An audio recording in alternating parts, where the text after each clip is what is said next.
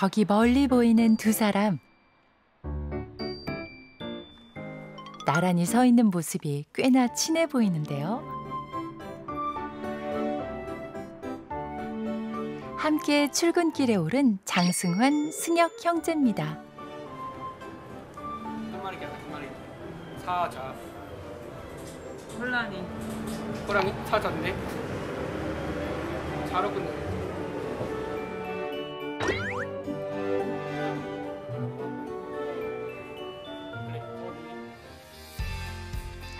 형제가 다니는 굿윌스토어 대전점을 살펴볼까요? 개인과 기업이 후원한 물품을 판매하는 매장부터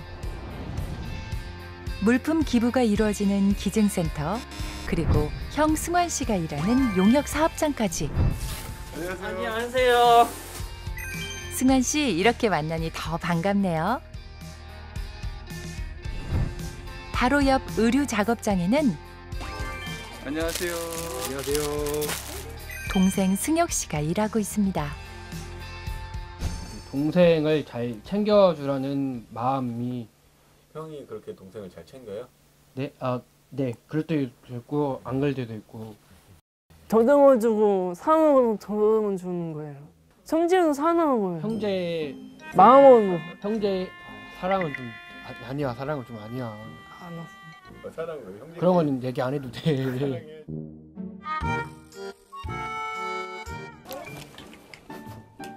개구진 성격에 장난꾸러기처럼 보여도 일터에선 에이스인 승혁 씨. 옷, 옷을 개고 비- 분류를 한- 하는 작업을 하고 있어요. 네네. 벌써 입사 5년 차고요. 대전점 초창기 멤버답게 능숙한 일처리는 물론 폐기 개수를 표시해 장부에 적어두는 승혁 씨만의 업무도 따로 있을 정도라네요.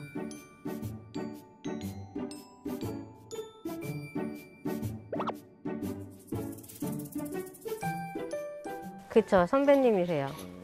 저보다 입사 선배. 아, 아, 네. 입사 선배. 과장님 어, 네. 입사 선배님. 아, 네네. 이 작업장의 분위기도 많이 띄워주기도 하고 선생님들하고 관계도 되게 좋고 늘 스마일이에요. 아, 서, 서, 아 선생님. 아, 좋아하는 누나 있- 아 형, 형까지 왜 그래? 좋아하는 누나가 있- 있어요. 아, 형까지 왜 그래? 좋아하는 누나가 있어요. 형까지 왜 그래? 좋아하는 사람 있어요. 아, 형까지 왜 그래? 한편 기업의 제품을 포장하는 용역 사업장. 이곳에서 형 승환 씨가 2년째 일을 하고 있는데요. 박스를 포장하는 반복 작업이라 큰 어려움 없이 적응할 수 있었다고 합니다. 어우, 손이 엄청 빨라요. 아 제가 손이 응. 이제 막 하는 거예요. 오, 뭐 다른 사람들 뭐 하나 할 때 막 두 개씩 하네요. 아 네, 빠져서 이제 속도가 빠져서 저는 속도가. 각자의 위치에서 열심히 일하는 형제는 대전점의 마스코트나 다름없다고요.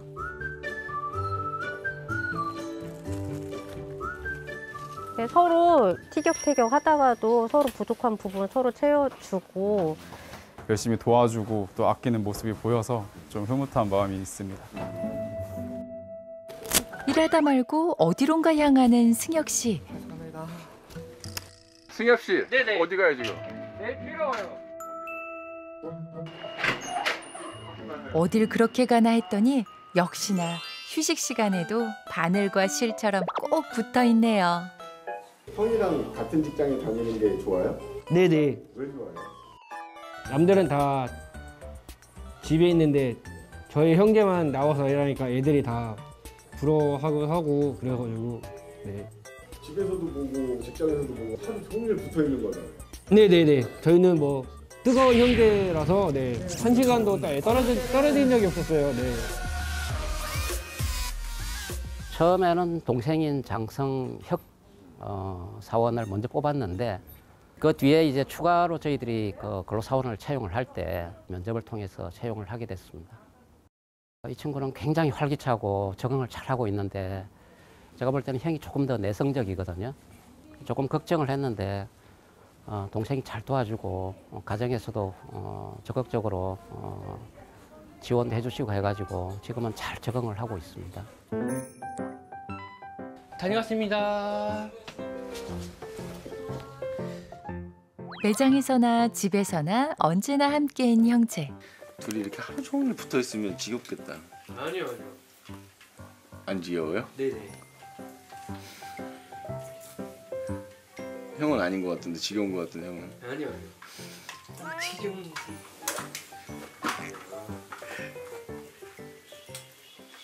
하지만 부모에겐 두 명의 장애 자녀를 키우기란 쉽지 않았습니다. 처음에 말을 잘 안 했어요, 승환이도. 말을 안 하고 나, 있으니까 말을 못 하는 줄 알고. 근데 말을 해요. 나, 다른 애는 말을 못해 말을 하네? 아, 그럼 다음에는 아, 뭐 좀 해줬을, 여기까지 갈 수 있을까? 기대감 있죠. 근데 코까지 해요, 또. 그러다 보니까 사람 욕심이라는 게 계속 늘어나는 거예요, 이제. 처음에는 아이고, 제발 말만 해- 하게 해주십시오.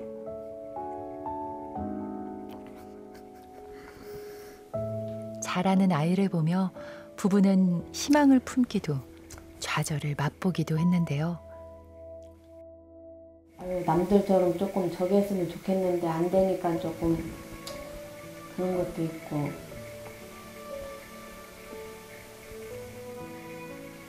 좀 그래요.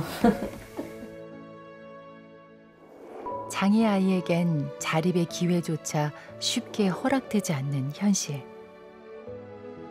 고등학교 이제 졸업하면 사회로 나와야 된다는 이런 걱정 그런 것들이 있지 않으셨어요? 네. 많았죠. 정상적인 애들 같으면은 뭐 여기도 원서내고 저기도 원서내고 들어갈 수 있잖아요. 어, 언제든지 기회는 한 번이라도 생기니까. 근데 우리 애들 같은 경우에는 그런 기회가 적잖아요. 그러다가 이제 직장이 생겨서 직장부 어, 딱 들어가니까 기분이 좋은 거예요. 이제 돈을 떠나서. 뿌듯했죠. 고맙기도 하고 기특하기도 하고. 뭐 월급을 10만 원 갖다 20만 원 갖다 그게 문제가 아니고 다른 데서 내 얘가 필요한 시간을 보낼 수 있으니까. 그 저도 또 저희 나름대로 일을 할 수 있고. 굉장히 좋더라고요 그게. 어떻게 보면 구디스토어라는 것이 부모님들한테 기회를 준 거네요. 그렇게 생겼어야 돼요. 부모님들한테 예 저희한테 기회를 많이 준 거죠 어떻게 보면 또. 구딜 스토어가 건넨 기회에 가족은 미래를 꿈꿀 수 있게 되었습니다. 그 돈을 이- 있으면 차도 사고 옷도 사는 게 도움이 될 수 있을까 해서 돈을 통장에다가 네, 모으고 있어요. 떠날 수 없는 직장, 떠날 수 있는 직장입니다. 떠날 평생 다닐 수 있는 직장, 떠날 수 없는 직장, 평생 있을 직장. 구딜 스토어에 다니며 미래를 꿈꾸게 된 형제처럼 더 많은 일자리가 생겨날 수 있도록 함께 해 주세요. 여러분들의 후원이 발달 장애인들의 미래를 변화시킬 수 있습니다.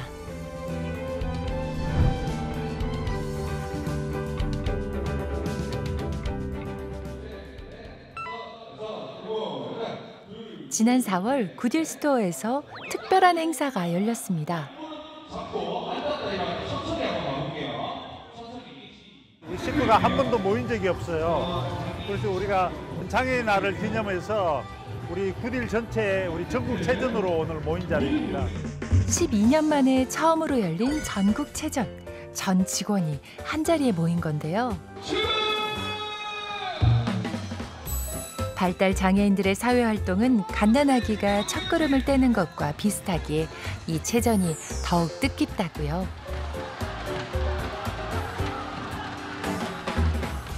어려움 속에서도 특별히 체육 대회를 추진한 이유가 있다고 합니다. 어, 사실 우리 발달 장애인들이 가장 취약한 부분이 사회성이거든요.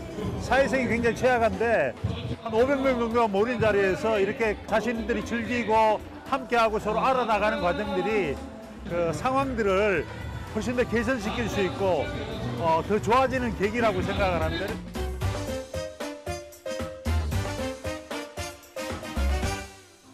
수많은 직원들 중 눈에 띄는 두 사람.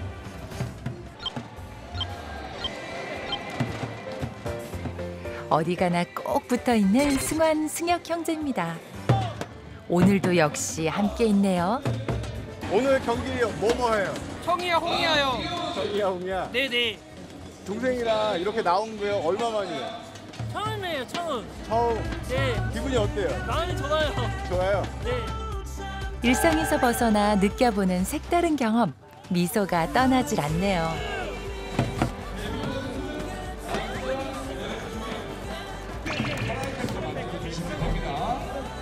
준비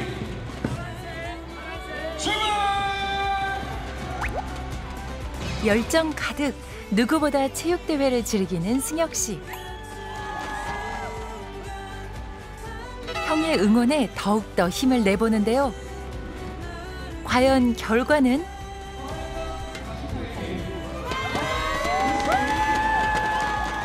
승혁팀의 승리. 짧은 시간이었지만 오늘의 외출로 즐거운 추억이 만들어졌을까요? 세상을 향해 한 걸음 내디딘 발달 장애인들이 환하게 웃음 지을 날만 많아지길 바라봅니다.